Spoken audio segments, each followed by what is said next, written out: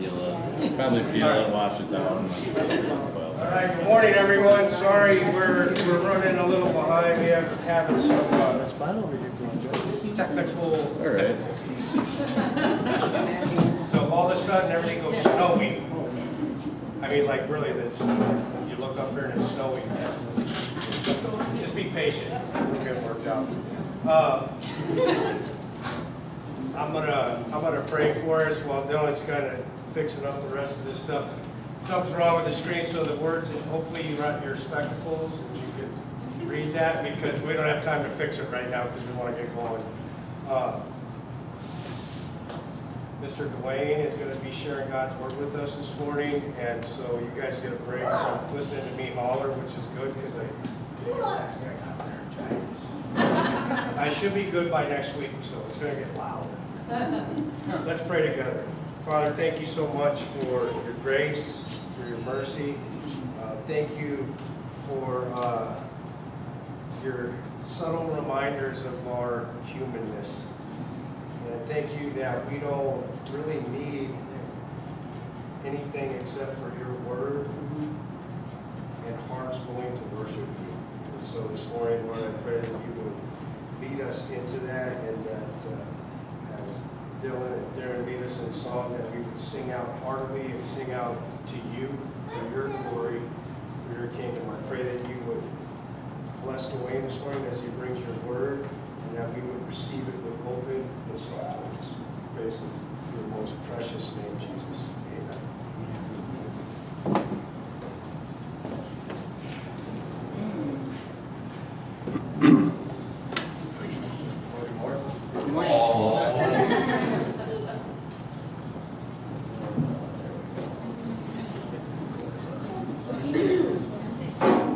Good morning. There, I'm loud.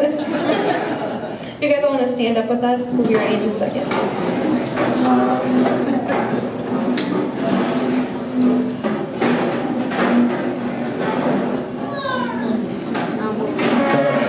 So God reminds us every morning that we are human, and this morning He says, "Dylan, you're not so good at tech as you think you are sometimes." uh, so, um, hopefully, we can just stand and worship Him and give Him all the glory, because uh, it's not us. Um, but He did fix the screen, so thank you, Lord. all right, we're going to start this morning with "Great I Am." Uh, it's an oldie but a goodie. So.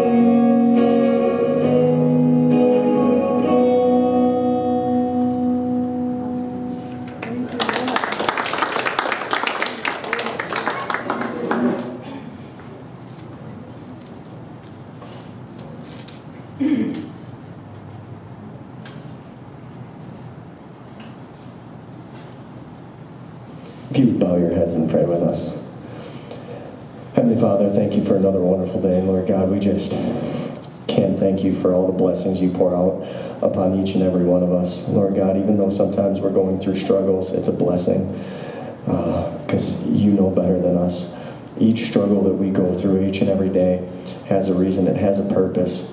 And uh, even though we might not know it, Lord, that you do, and that you guide us through it, and that we follow you, and we can be more like you each and every day, Lord. Lord, we just can't thank you enough for all the things that you've poured out upon our uh, upon your people, Lord. And we just thank you for that. In your name we pray. Amen.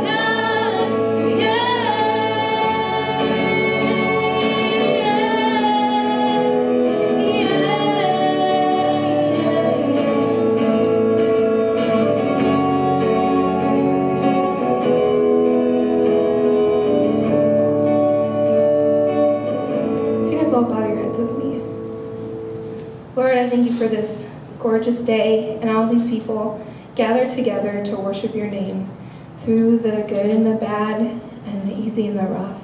I thank you for being there and being our hope through it all. And I just ask you to have your hand over Mr. Duane as he comes up and gives us a message, and that we will let that um, work in our lives. I thank you, Lord, for everything. In Jesus' name,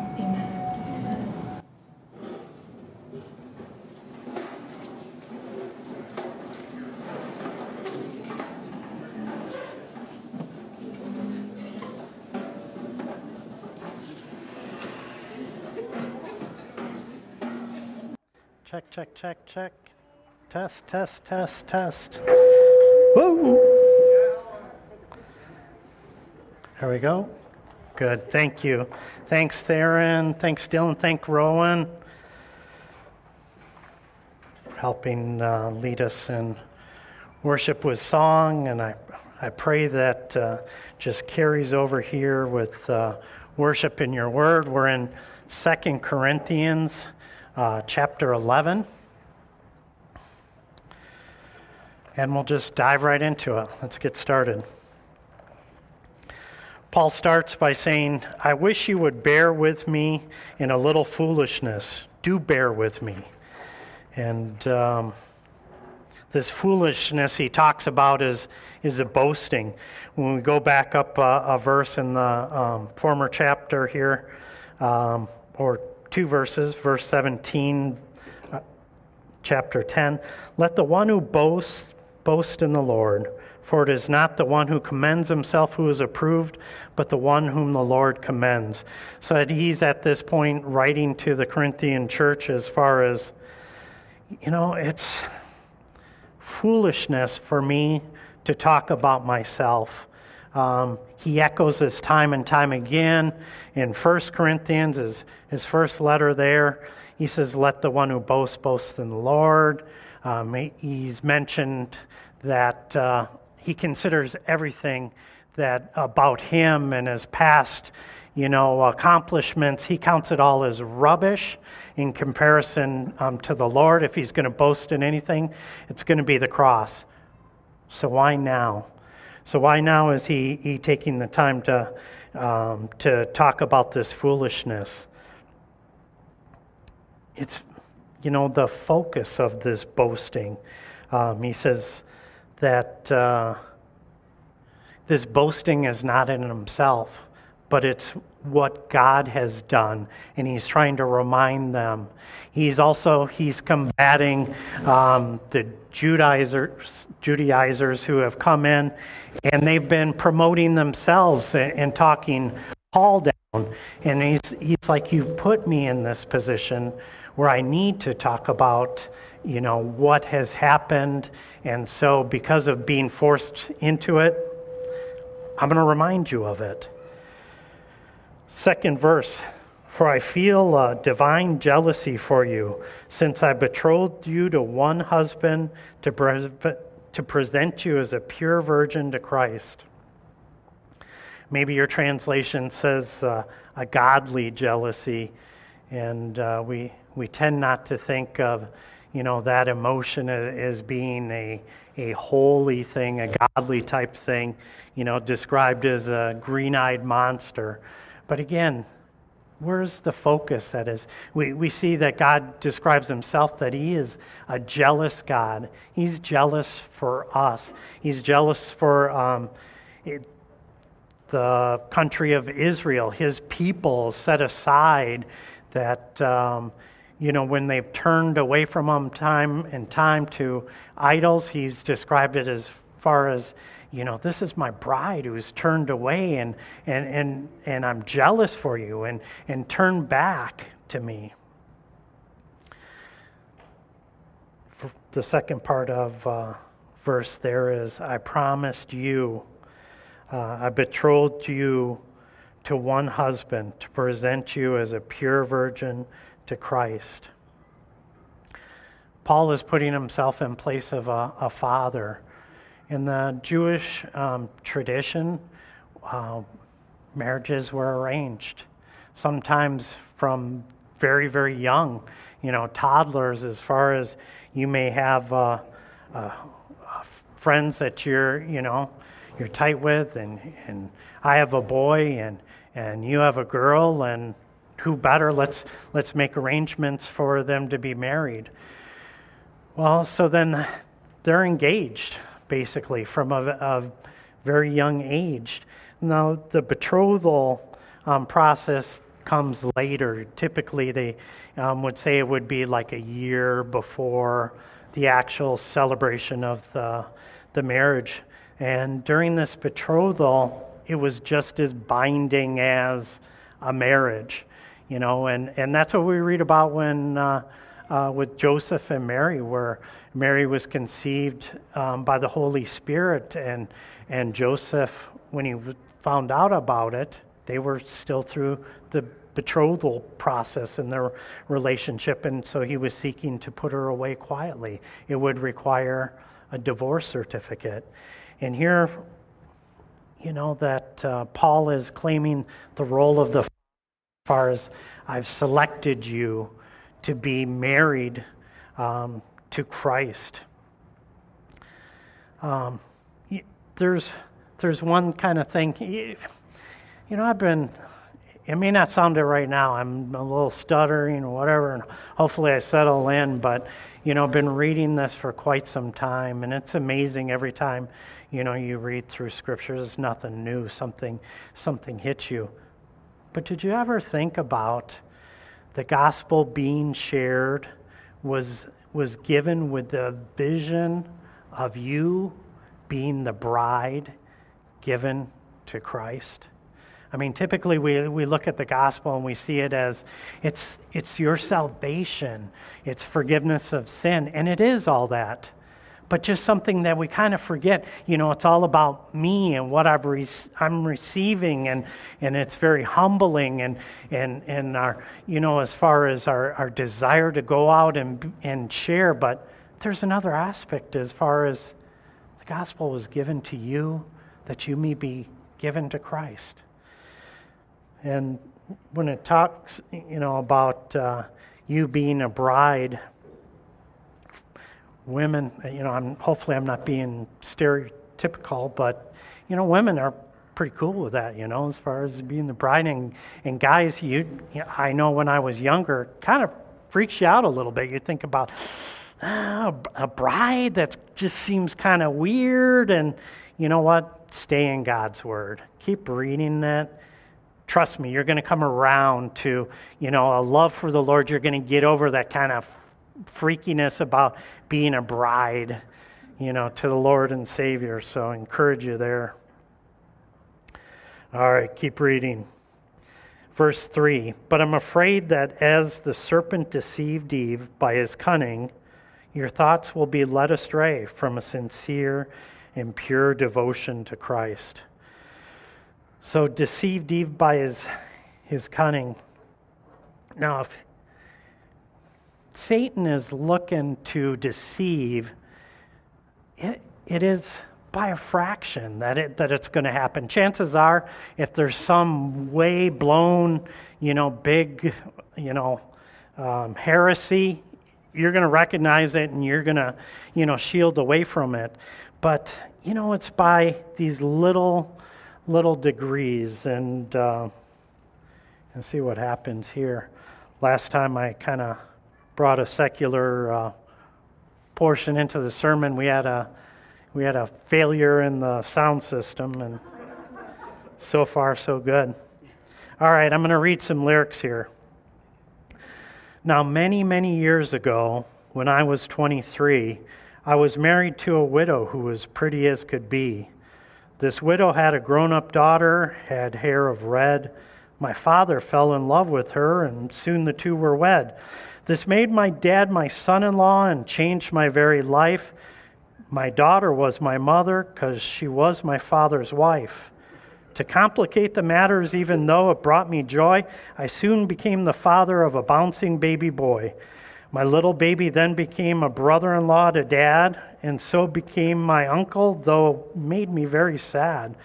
For if he was my uncle, that also made him the brother of the widow's grown up daughter, who of course was my stepmother. I'm my own grandpa. from the Gospel of Willie Nelson. No, but uh, it, you, so you end up with this outrageous thing, but it, it starts in little degrees, little kind of thing that it can be fabricated.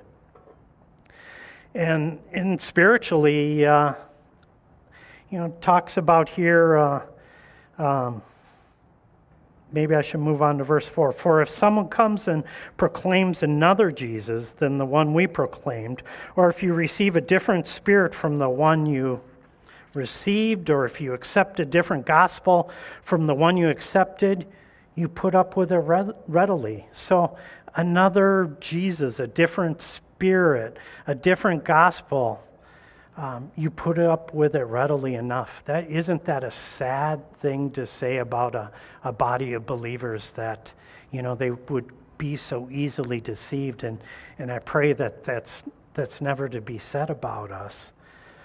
Um, it, there's claims that uh, well, Jesus was just a great teacher. There's heresies that. Uh, that abound. Some are that uh, he was just a spirit. He only seemed to be human. His human form was an illusion. If he walked along the beach, he wouldn't leave footprints in the sand. Um, and those, those seem uh, kind of crazy, but let's bring it to some heresies that, that continue on today as far as God is love.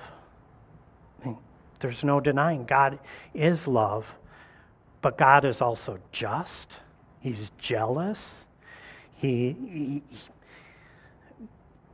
just focusing on one aspect, just reaching into Scripture and grabbing one little bit, can be creating a different Jesus, a different gospel, a different spirit. It was prob- it was less than 10 years ago that uh, I had a couple of Mormons knock on my door at home and uh, and I, I entertained them to, to be able to come in and, and talk to me and uh, on the grounds that any discussion that we had were based on uh, the Bible, the Bible that I had, God's Word. They agreed that uh, the Bible was God's, you know, breathed Word. They had their additional, you know, material that they had, but uh, the discussion was to come out of here and and it, it, went for a little bit and rescheduled for a second time. And whether that was wise or not, you know, actually, when you, you know, you read uh, James, I believe, no, it's John, he's like, don't do it.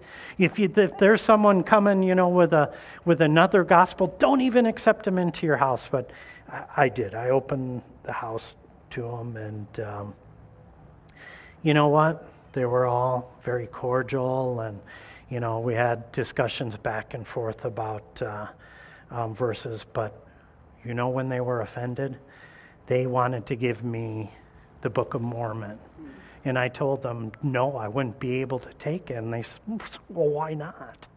And I said, This is another gospel, and the Word of God warns me against taking it. Now, you know, there was part of me that going, well, you know, I'll take it I'll be able to read it and I'll be able to use it against, you know, any kind of, I'll be just that more educated on how I can, you know, speak against this. But I didn't, I didn't even want to take it into my hands. They got ugly. They did, and they, they got up and they left. Um,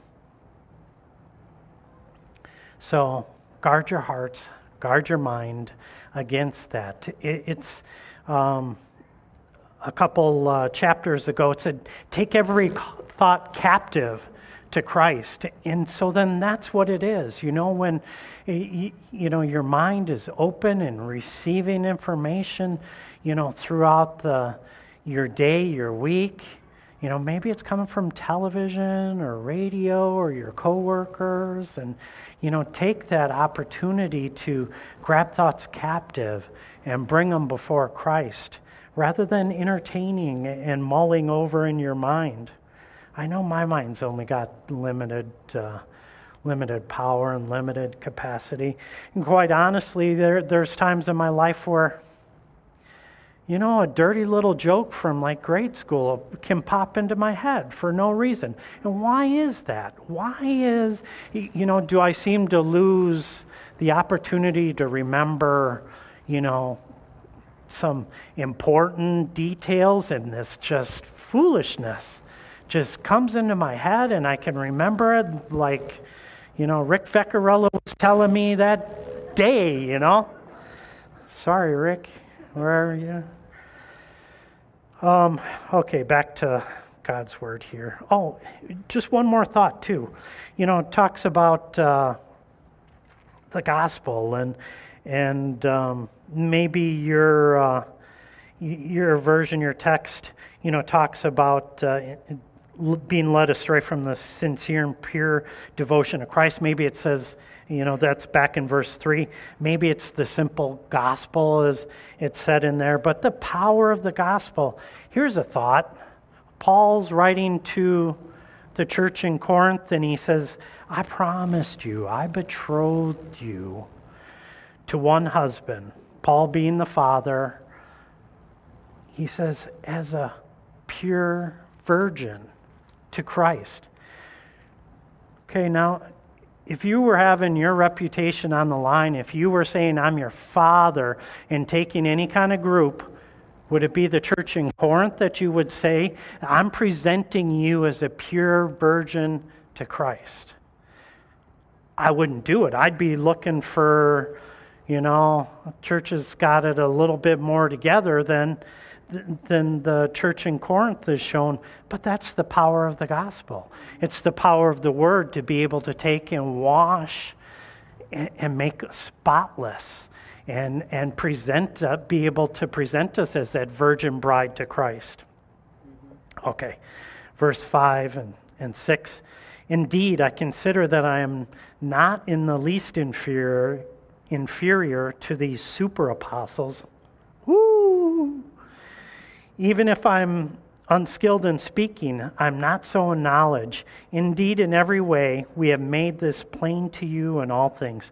Super apostles, he calls these um, guys. And uh, can you imagine the gall as far as being an individual to say, I'm an apostle? You know, during that time.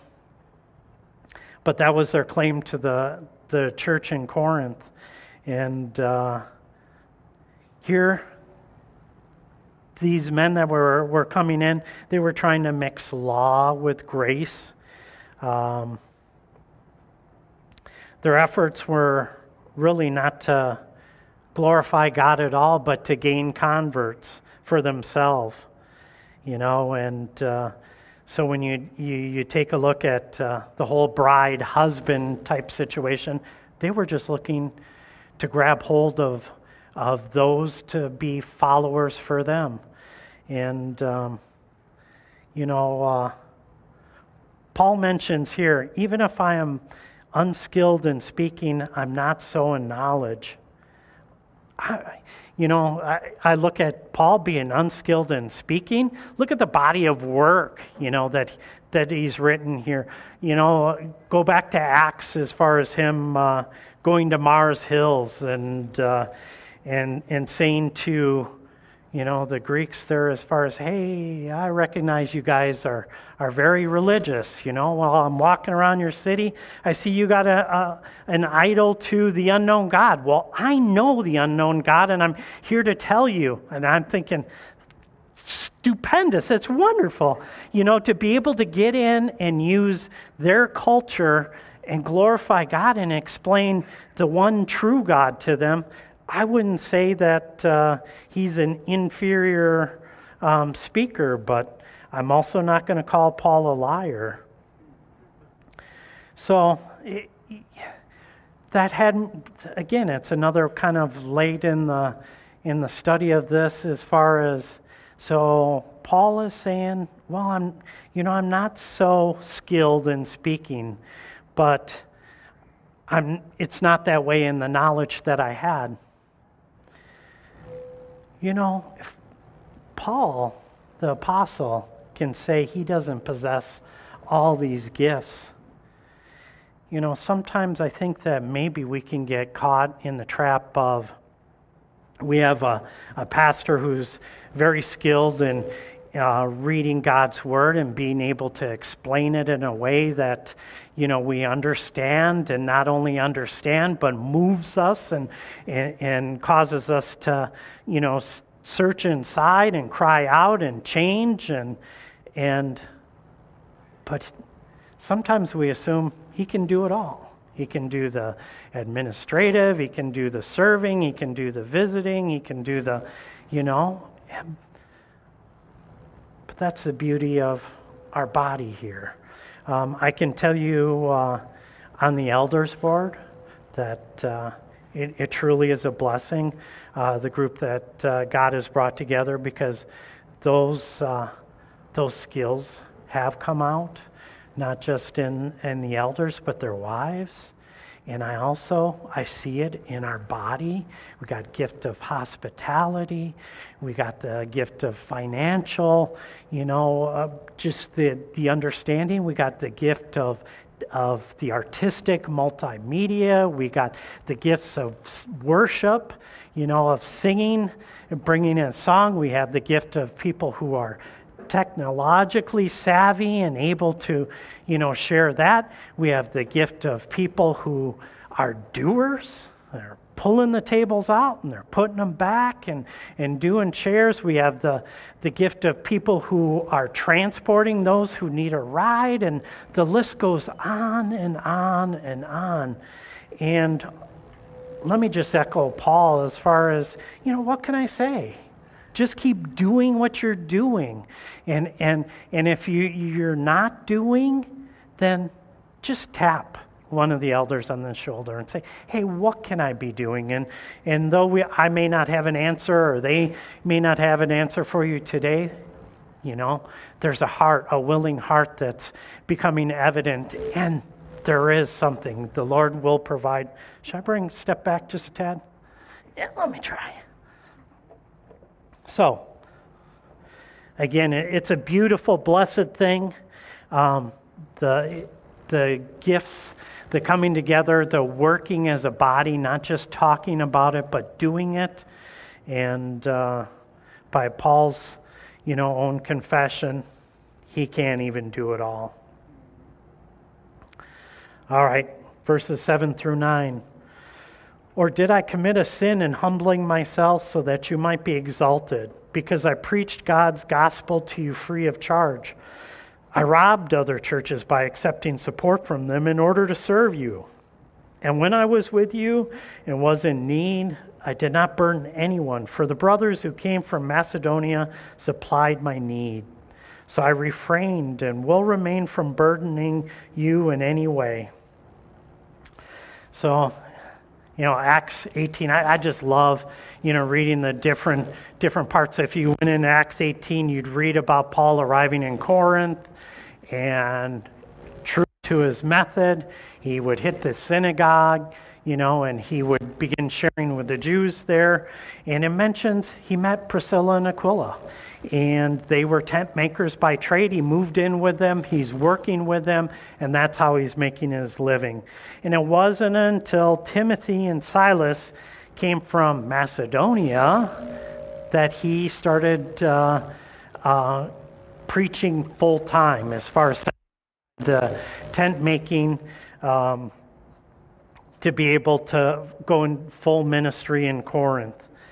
All right, so this whole robbed thing that he he mentioned, um, he wasn't robbing.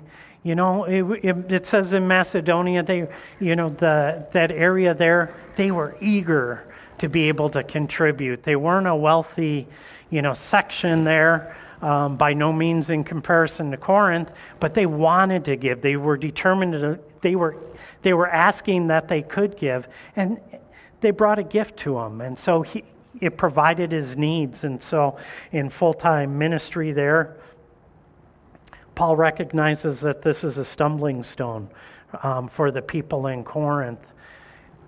The detractors that came in, they came in and they were receiving money from the church in Corinth. And um, we'll see that here. Uh, as the truth of Christ in me, this boasting of mine will not be silenced in the regions of Achaia. And why? Because I do not love you? God knows that I do. And what am I do and what I am doing, I will continue to do in order to undermine the claim of those who would like to claim that in their boasting in missionary in mission, they work on the same terms as we do. Work in the same terms as they do. He's basically saying, I'm not receiving money. Throw that out to your super apostles and see how that flies with them. You know, take away the funding. Oh, and by the way, I don't work where anybody has worked before. I'm always pushing, I'm seeking to go out where the gospel hasn't been shared. What are they doing? They're coming in where the gospel has already been shared and they're undermining. They're looking, again, to just uh, work for themselves rather than work for the, the glory of God and the good of his people. Verse 13 For such men are false apostles, deceitful workmen, disguising themselves as apostles of Christ. Uh, so they, he, in, he was calling them super apostles.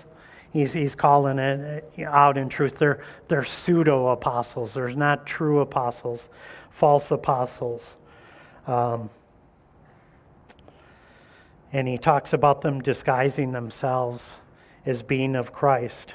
He continues on here with disguises. Verse 14. And no wonder, for even Satan disguises himself as an angel of light. 15. So it is no surprise if his servants also disguise themselves as servants of righteousness. Their end will correspond to their deeds. You know, sometimes I think that uh, we forget that uh, um, Satan, being a created being, he was beautiful. He is beautiful. He's described as an angel of light, and we've kind of, you know, put him as this guy in a red suit with horns and a tail and uh, and uh, Satan probably takes great delight in that because uh, when he, you know, appears, he's, he's, not recognized as who he truly is, and uh, has the opportunity to deceive. So he's saying that uh, those disguises, the apostles, the false apostles disguising themselves as apostles of Christ, their end will correspond to their deeds. What a sentence. So, what's the purpose of this section? I think there, again, uh, there's a reoccurring theme of uh, self examination and prayer. You know, that uh, it's, it's easy to be able to, to go out and point, you know, outside as far as, well, you know, they got it wrong or, you know, they're uh, you know, that's not how they should be handling things. Don't they know, you know, how they should be? A brother wrongs them, what, what should they be doing? You know, they should be going to the brother. It's easy to, to be able to point out, uh, you know, all those things, but uh, we need to be focused on ourselves and, and in prayer. I think also guarding our minds and our hearts. That, again, we're just, uh, if we're open to everything that the world has to be able to pour upon us, um, I think that you're kind of trying to do damage control after the fact. So setting your mind in advance, as far as I'm not going there, can save you a whole bunch of heartache. And, uh, and that's at any age, you know, is good advice. Um, again, the, the mind is just uh, a, a, a, beautiful blessing, a gift, and it can also be um, be a burden. And uh, it's a matter of training that mind, disciplining it. You know, um, what it receives, and what do you do with something that doesn't quite fit, and how do you determine what fits? That's the last part in the purpose here. It's being in God's Word that gives you the opportunity, it gives you the baseline, it gives you the cornerstone to be able to examine yourself, not against one another. We were cautioned against that, you know, last week. Be examining yourself against God's word. Um, may we be as the Bereans. Take what you've heard and go to God's word and, and co- compare it to it. Um, that's all I have for you today. Let me close us in prayer. Lord, we give you thanks for the simple gospel. Lord, how powerful it is. It has the, the ability to change lives at any age. It's understandable by the youngest to the oldest. And forgive us, Lord, when we, we complicate it. Lord, there's, there's a depth and there's a richness and there's um, wisdom that goes beyond our own capabilities. But let us not get hung up in the things that we can't understand, and let's focus on the things that are revealed to us in your word and continue to go through your word and be washed and cleansed, um, corrected, encouraged, condemned, comforted. Just your word has the ability to, to do all that. And Lord, uh, may we be known as, as a church that uh, loves your word, that um, studies your word, that is not easily accepting of, of any kind of gospel that may present itself, of any spirit, Lord, of any other Jesus. Lord, may our eyes be fixed upon you. We love you. Our desire, Lord, is to love you more and more every day. In Jesus' name, amen. Thank you.